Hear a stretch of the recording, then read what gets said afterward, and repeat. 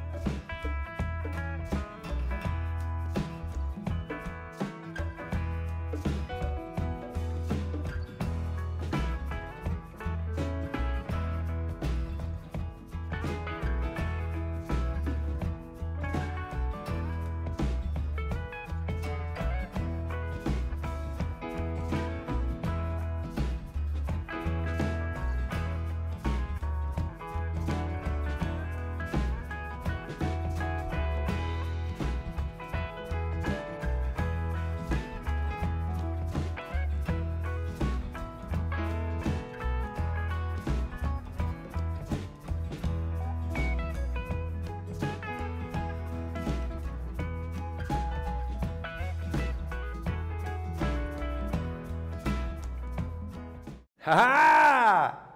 E aí, responderam? Claro que sim. Como que não, né? É, sempre respondem. Vamos comigo? Vamos corrigir então? Pergunta era o seguinte: o entrevistador se preparou para realizar a entrevista com o escritor Minha Culto? Minha Couto? Justifique sua resposta. Vamos ver então? Sim, houve preparo, pois as perguntas feitas pelo entrevistador demonstram que conhece a obra do escritor moçambicano. Sem esse conhecimento, que é o preparo, não seria possível desenvolver a entrevista e obter as informações pretendidas.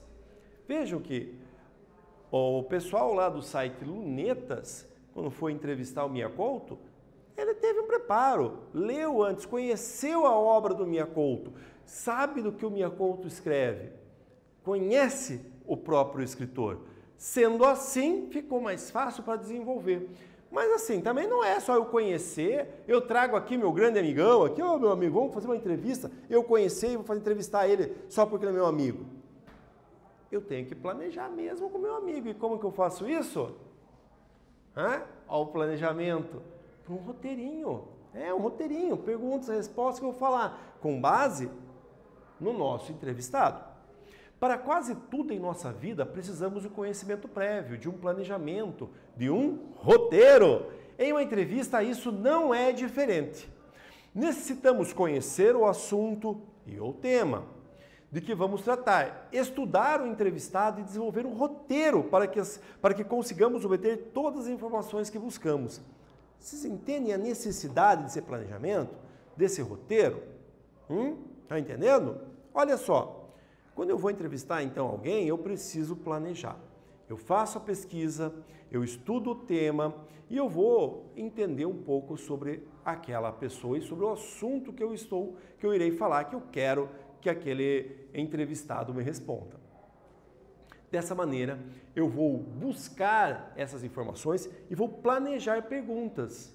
vou planejar a pergunta 1, a pergunta 2, a 3, a 4 e assim por diante. Isso auxilia no trabalho da entrevista e principalmente para a pessoa que vai ler. Sabe, vai estar tá mais tranquilo a leitura, melhor, tranquila a leitura. Então, após o tema da entrevista, é, e entrevistar, eu, opa, ô professor, vamos ler certinho isso aí? Não está lendo o slide. Vamos ver bem certinho o slide. Olha lá. Após o tema da entrevista, entrevistado ou entrevistada serem definidos, chega a hora do roteiro. Essa etapa é muito importante, pois com esse documento, documento em mãos, o entrevistador saberá o que perguntar e qual sequência seguir. É muito importante para o entrevistador manter uma sequência para ele. Ele dominar os caminhos e, man e manter o rumo da entrevista do jeito que ele quer. Isso é importante. Claro que a gente pode planejar, planejar, planejar e na hora acontecer alguma coisa e não dá certo. Né? É, mas aí então você tem que pensar nessa possibilidade também. Se você sabe que pode ter algum problema, pode dar alguma coisa equivocada, planeje isso também. Essa possibilidade. Se acontecer isso, o que, que eu posso fazer? Acabou minhas perguntas, acabaram minhas perguntas, o que eu faço? Ah, faça mais perguntas do que você esperava para aquele momento. Então, o roteiro deve conter as perguntas, os questionamentos que serão feitos ao entrevistado, já prevendo o tempo aproximado de duração da entrevista. Ó, o que eu falei. Se você está imaginando uma entrevista, vai ficar com o entrevistado durante uma hora, uma hora e meia, você tem que ter noção do tempo que você vai apresentar, quem ele é, o tempo da fala e as perguntas. Eu vou fazer cinco perguntas. Ele vai responder mais ou menos cada pergunta em tantos minutos. Será que vai funcionar? Opa, então pode ser que ele responda mais rápido, então eu vou fazer mais perguntas do que é necessário e eu fico essas guardadas ali no cantinho. Olha só, é importante ter perguntas a mais do que serão feitas, devido ao imprevisto, é, devido ao tempo que, é, de, de, de, que resta, por exemplo. Né? Então, falta pouco tempo, falta muito tempo, organizar nesse roteiro. Isso é importante. Gente, olha como é importante. Eu já vi várias notícias, várias entrevistas aí, o pessoal falando. É, e parece que a pessoa não ouve o que o entrevistado acabou de falar. A escuta do que o entrevistado diz é importantíssimo. Por que, que é importante isso? Porque às vezes a pergunta que você vai fazer lá na frente, ele acabou de responder agora. E o cara acaba de responder e daqui a pouco você vai e faz a mesma pergunta. Uh, falta de preparo, falta de planejamento. Por isso que é importante sempre verificar e sempre planejar. A escuta do que o outro diz, não precisamos nem falar como isso é importante, né? Agora, moçadinha, vamos para outra atividade. Acompanhe comigo. Atividade 2. Produção de uma entrevista oral. O assunto é sobre profissões, moçadinha. Tema: profissões de seus pais e ou responsáveis. Pesquise na internet, caso seja possível. É, converse com pessoas que tenham profissões, ocupações iguais ou semelhantes às que seus pais ou responsáveis exercem para obter informações mais amplas do que você tem. Então, aqui, a nossa atividade inicia desse momento da seguinte maneira: você vai falar sobre profissões. A profissão de quem especificamente? Pai, mãe, responsável seu, quem você mora. Ah, não quer? Quer falar de outra pessoa? Escolha alguém para falar da profissão dela. É, você vai fazer uma pesquisa com essa pessoa, uma entrevista, pergunta e resposta, pergunta e resposta. Nós vamos organizar o roteiro aqui. Para isso, você tem que ter um planejamento, conhecimento prévio, que é através da entrevista. Só a entrevista que vai conseguir fazer isso. Organize as informações que se levantou e desenvolva um roteiro de entrevista estruturada, ou seja, entrevista com perguntas previamente criadas. Quando nós falamos em entrevista estruturada, é aquela que você sabe o que vai perguntar. São perguntas já fechadas anteriormente. Por isso é bom o teu roteiro, para você não se perder. Você vai utilizar, vai escrever todas as perguntas que você quer fazer, para você tirar as dúvidas é, sobre a profissão daquela pessoa, sobre a ocupação daquela pessoa. Lembre-se de uma coisa: seu público-alvo deve ser os alunos da sua sala, ou seja, estão no oitavo ano também. São os adolescentes que é o público-alvo seu. Vamos continuar lá. Divida as perguntas por ordem de assunto ou temas de importância. Se você quer falar sobre a profissão, vai falar sobre a profissão e, encontrou durante a pesquisa é, que dá para discutir temas, blocos, Pegue então a primeira pergunta falar sobre isso, a segunda também em relação a isso. Depois eu vou mudar de temática e você vá encaminhando a sua pesquisa, aliás, a sua entrevista para, com, a, com o responsável ou pai. Dica: fica, fique sempre atento e aberto a mudanças. Às vezes a resposta dada pelo entrevistado, pai, mãe ou responsável, pode dar abertura para uma nova questão, ainda mais interessante que as que foram planejadas. Isso é legal da escuta, lembra? A escuta é importante.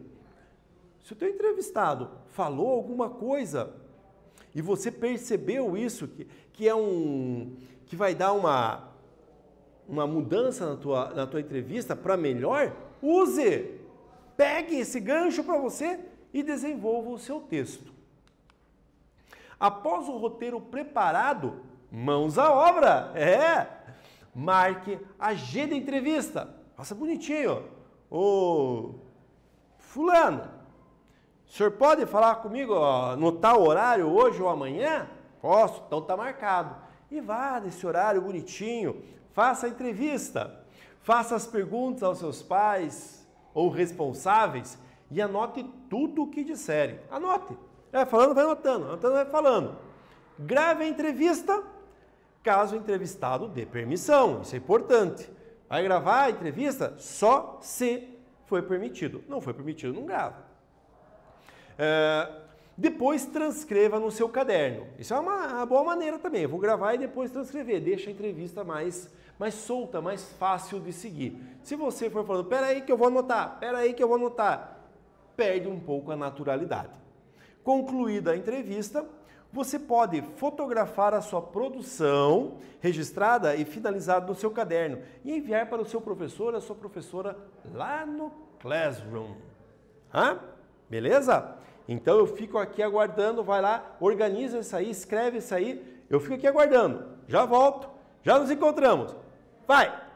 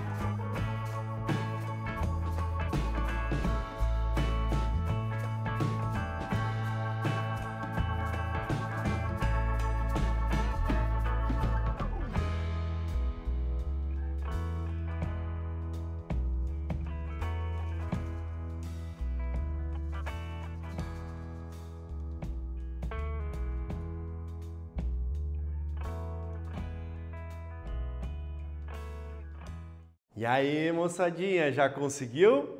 Fizeram já um esqueletinho que vão pensar lá na sua entrevista?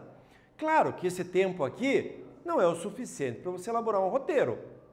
Mas é, você para esse roteiro vai precisar um pouco mais de tempo, um pouco mais de cuidado, escrita, reescrita as perguntas. Beleza? Ah, vamos lá então aqui. O que, que nós vimos hoje, moçada? Vamos lá na retomada nossa. Nesta aula, lemos uma entrevista e aprendemos sobre o desenvolvimento de um roteiro de entrevista oral produzimos um roteiro para uma entrevista oral com os pais ou responsáveis sobre as profissões, ocupações que exercem. Então, assim, isso nós conversamos na aula. Vimos entrevista, é, lemos uma entrevista, organizamos o roteiro e agora é com você aí. É fazer mãos à obra, é? E é isso, moçada. Professor Adriano fica aqui, você fica aí. Até mais, Val! Tchau, povo!